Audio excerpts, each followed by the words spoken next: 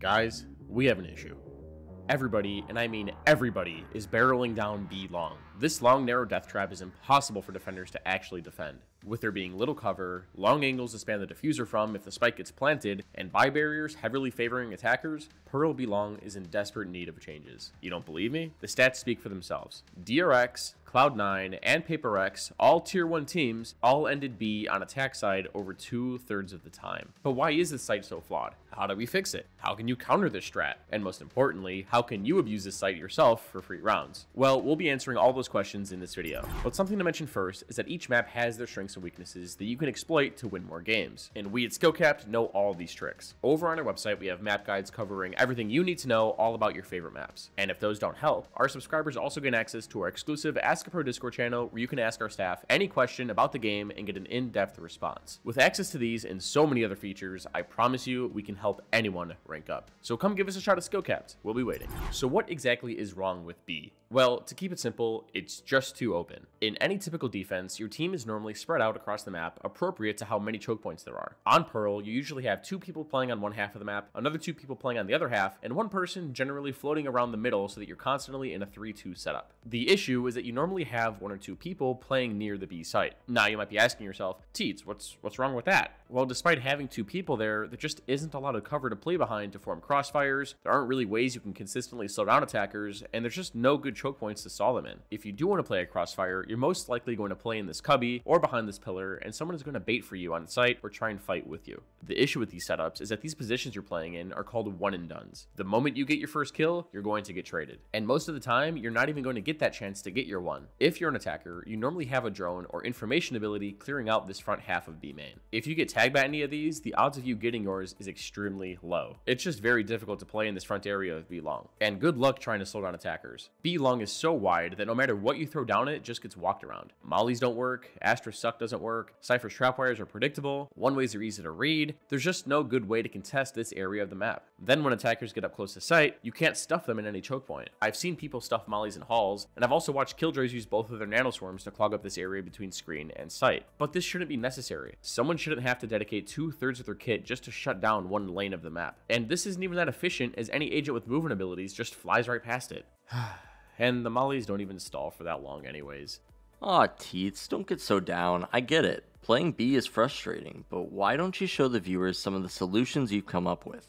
Who knows, maybe Riot will hear you out and we might see some changes in the future patch. You'll be a hero. You know what, Casey? You're right. I know it sounds like B-Long is the worst site ever created, and in my opinion, it kind of is, but that doesn't mean that you can't play around these weaknesses. As a matter of fact, professional team Evil Geniuses decided to run both Jett and Yoru on this map. They understand that people love to abuse hitting B-site, and these agents are perfect at stopping this game plan. But why? Well, before the Chamber nerf, B-Long was never an issue. Chamber would set up his rendezvous around the pillar or this cubby, and would be able to play aggressive, but get out really safe. He forced teams to be thorough with their utility to make sure they flushed him out. This made their site hits that much weaker and easier to manage. But when Chamber got changed, that meant that no one else had a good enough kit to defend B as well as he did. Jett on her own is okay, but her dash isn't long enough to allow her to play in these strong off angles. The only realistic angles she could play are in these spots. And Yoru's gate crash is good, but if a team knows how to trade well, he can get punished pretty easy. But what if they combine forces to both defend B long and let their stall agents lock down the other side of the map? Then Yoru and Jett could both play in aggressive angles and work together to play for a kill and get out. And that's exactly what they did. While we didn't exactly get to see both of them in action, they certainly were ready for it. If they both weren't there, Yoru would anchor near Cubby, and his Killjoy would help him out on site, but still be in range of her bots to fight Alley. This comp is super strong because of the flexibility it has. If you're getting abused on B, you can fix that. Once you shut that down, then you can play passive on B and strengthen the rest of the map. So while Yoru and Jett aren't as strong as Old Chamber, you can run agents that can get out like Jett, Yoru, or even Omen, and it's still a pretty viable option.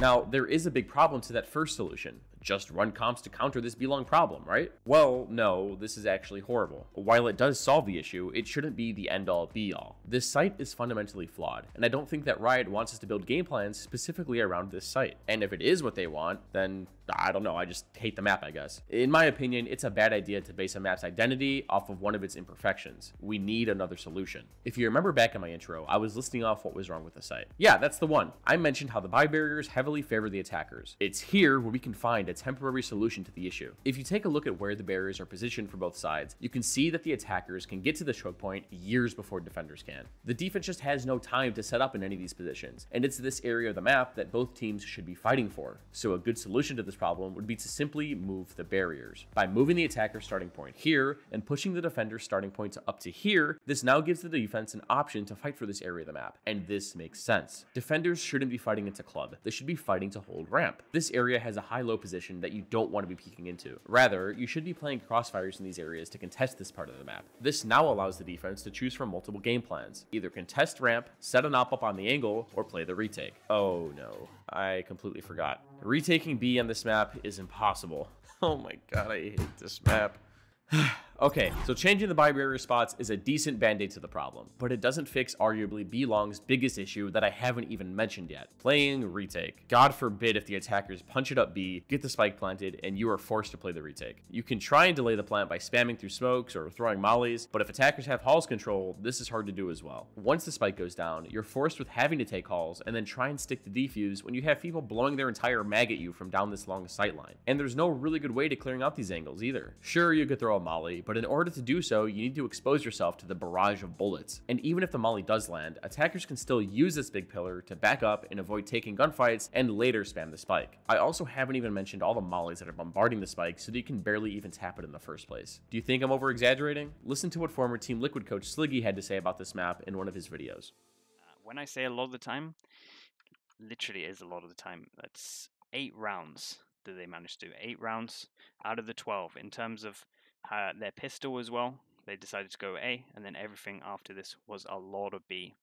The only round they lost was when the defense side had an Astra ult. That is also the exact same uh, in terms of when B was lost in terms of C9 as well. So the only time when they try and go B and actually losing these rounds is when the enemy team has an Astra ult.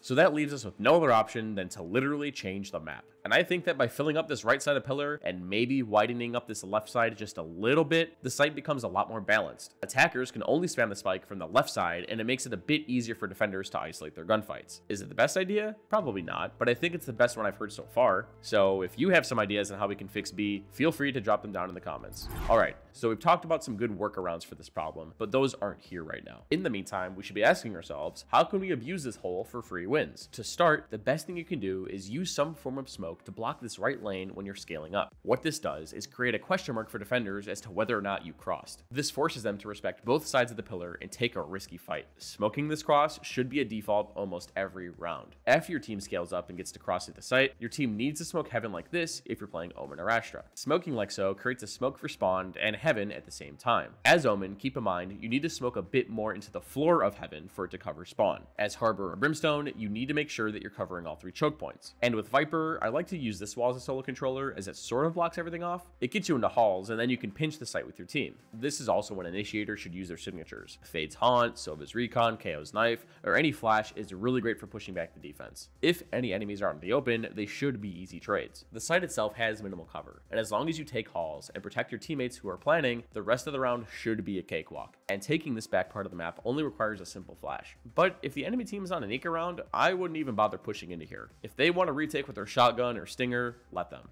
And if they molly the entrance to halls, you'll have to wait it out, flash again, or pinch it from the back with your teammates. And as long as smokes are up, this should be generally safe. Then with this part of the map, you can easily punish anyone trying to push out of spawn as they're walking into a giant crossfire from halls and B long. This is also why agents like Harbor and Sage have been meta on this map. They make it impossible for defenders to stall the plant and make it much more safe. Sometimes you don't even need to push backside. And keep in mind, while planting, don't plant up against this wall. Unless you plan on fighting the defenders as they come out of their spawn, because that's the only way you can stop them from defusing. This right here isn't planted for long. Rather, when you plant, make sure that you look out to the left to ensure the spike is out in the open as much as possible. Now, once you've planted, you're going to want to keep one to two peoples in halls and then the rest go long. Halls itself is a struggle to retake because in order to get back in, you need to cross site and risk exposing yourself to anyone peeking long. But if you use utility to get in here itself, it shouldn't be too hard. The issue, again, is B main. If you're in this position, you want to bob and weave between this pillar and the back of ramp. By keeping your movement and peeks unpredictable, you're forcing the defense to essentially play whack-a-mole. Except in this game, there's literally an infinite amount of angles that the stupid mole can pop up from, and the defender still need to defuse the spike. All of this makes up for one impossible retake, and a site that desperately needs changes.